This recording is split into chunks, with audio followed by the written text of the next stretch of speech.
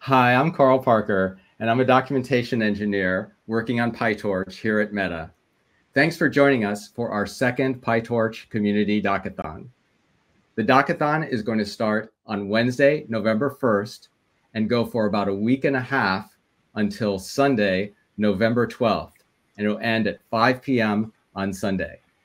Before we get started, let's cover some important details about the format for the Docathon. Firstly, before you submit your first pull request, you'll need to fill out a contributor license agreement or CLA. That will pop up right before you submit your request. Secondly, please review our code of conduct.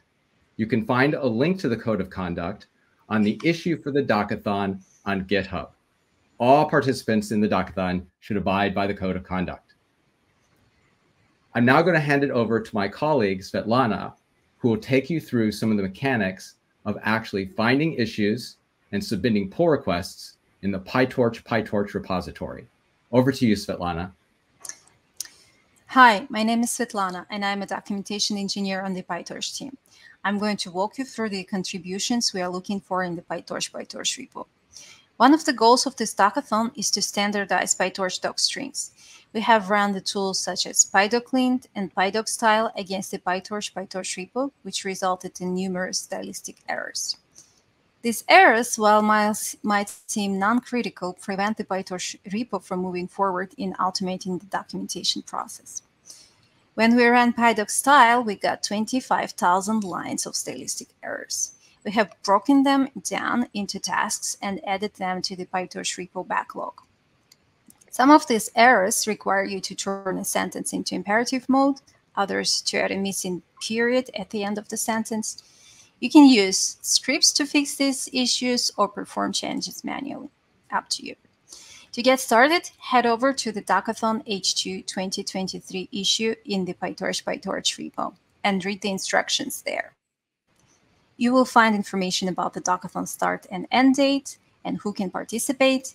You will also find that all the issues for this Docathon are marked with the Docathon H2 2023 label.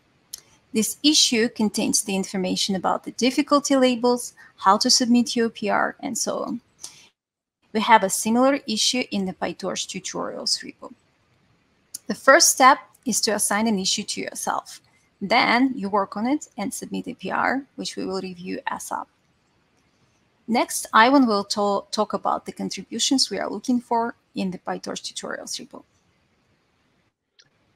Hello, my name is Ivan, and I'm also a documentation engineer at Meta, focusing on PyTorch. So following the success of our first Docathon earlier this year, which was on the PyTorch tutorials repo, we figured it would be a good idea to do that again.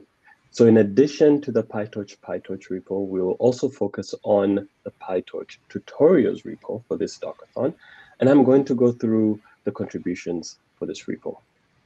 So firstly, you want to head over to the tutorials repo and find the issue labeled Docathon H2 2023. This contains information you need to know on how to pick an issue and submit it.